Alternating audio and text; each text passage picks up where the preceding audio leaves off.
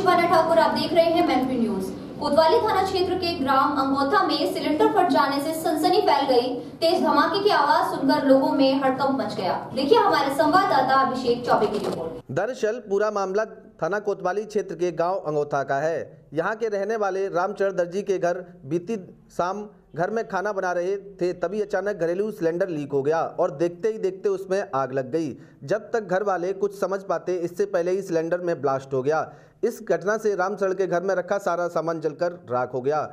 घटना से पूरे इलाके में हड़कंप मच गया। ग्रामीणों ने मिलकर समर इत्यादि से कड़ी मशक्कत के बाद आग पर काबू पाया। Bureau report, Mainpuri.